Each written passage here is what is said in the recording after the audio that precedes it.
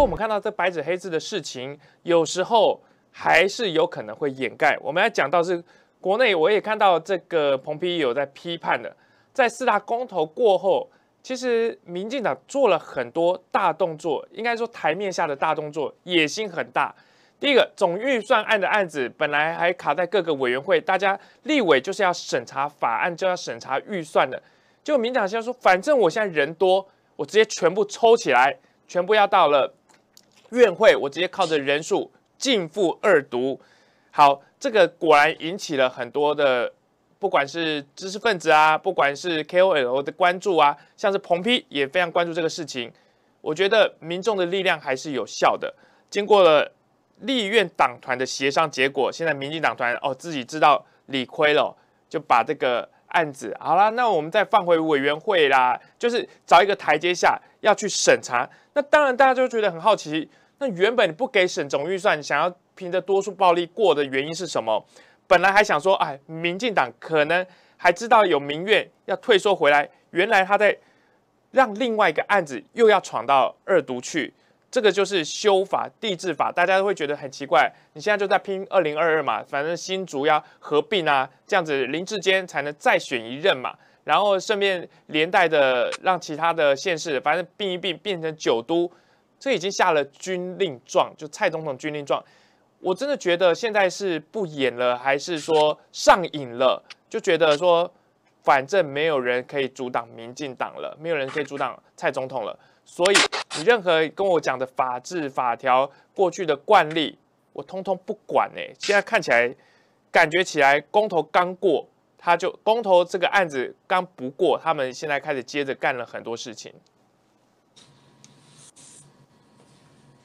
为什么这笔预算呢，要如此偷偷摸摸的，趁着月黑风高，然后强渡关山？这是我比较关心的话题，因为。中华民国宪政史上还没有发生过这种预算不审就要跑的，嗯，没有发生过，这是史上第一。你知道预算书有够难看吗？他们东藏西藏，嗯，还更不要讲什么特别预算了。而且你知道外交国防的预算通常都列机密，你怎么去敲都敲不破，就跟那个乌龟壳一样，你怎么打它都没有用。可是这次会连这个过程啊，这种仪式性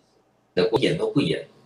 那就直接进负二读。他理由是说会来不及，那不可能会来不及。你知道那个各部会藏的钱有多少吗？不要说是预算一二月没下来，就是给你半年，他们都还是可以活。这就是今天的政府。好，那我就不是太清楚为什么在这个节骨眼这么不敢把他的预算书摊在阳光下。这就让我想到蔡英文在当行政院副院长，二零零六年的时候发生过一件事情。就是在二零零七年的时候，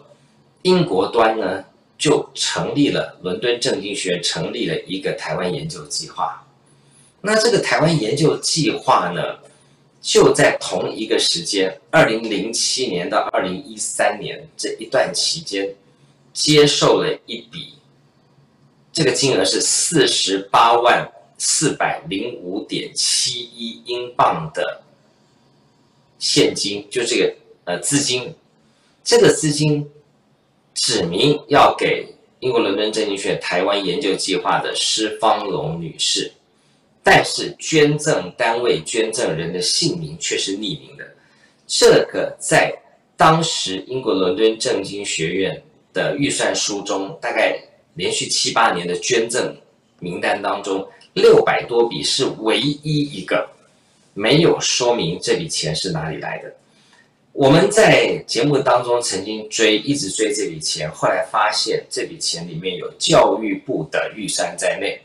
但是教育部在陈学圣委员当时的追问之下，只承认教育部拨了两百万台币。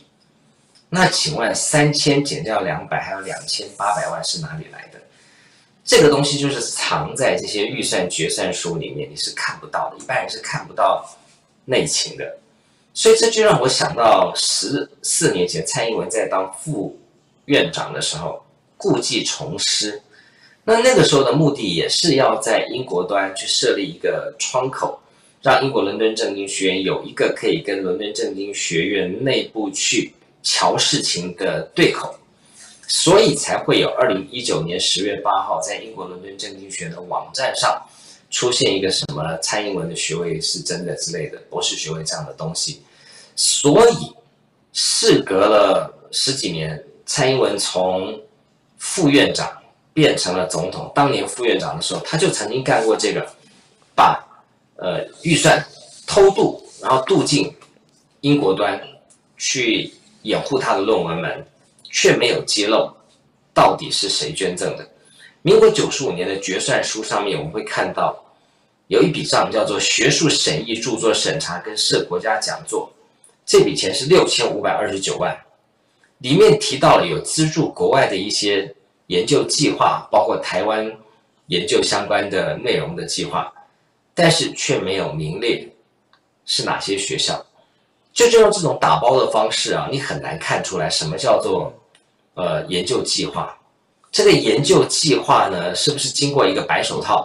他就转给了英国伦敦大学的其他相关的人？这个我们真的不得而知。所以我说，今天的这个预算审查也要拜托立委，要把在外交预算、在教育预算藏在这里面的一些细节看一看，这些钱到底跑到哪里去了。对这个，因为藏的钱啊，或者或你要做的事情，我觉得现在就是用一个多数的暴力，反正我也没有要跟你协商，我也没有要跟你讨论，然后我要做我自己想要藏的事情，或是说我不想要让人家知道的事情。刚才彭明在讲说，这个预算里面真的会藏的非常非常多的细节，尤其在外交跟国防的这一块。那我刚才看到也有很热心的网友在说，这个论文门开箱，大家要来多多的推广，多多的推播，很多人不知道订阅。这个其实我们在中天的各个，不管是子屏，不管是大直播，都会有一个论文门开箱的连接，请大家帮我多多的按下去，然后记得检查看看有没有订阅成功。这边看起来有没有按赞，然后这边你看这边也是已经有订阅了，所以这边也请大家多多的帮忙，因为我们的力量很有限，但是如果大家帮忙宣传、帮忙分享出去的话。一定会有更多人哦，知道现在论文门开箱已经开了一个专属的频道，然后订阅下去。开箱论文门世纪争议，需要的不只是勇气，看不见的手正在干预。发现看到论文门开箱成为一个频道，大家加油，给他按赞、分享小铃铛，在这边跟所有的呃论文门开箱的朋友们献上无比的感恩。请从 YouTube 中天电视首页最下方点选论文门开箱频道。订阅，按在小铃铛，别忘记。关不了的频道，出发再继续。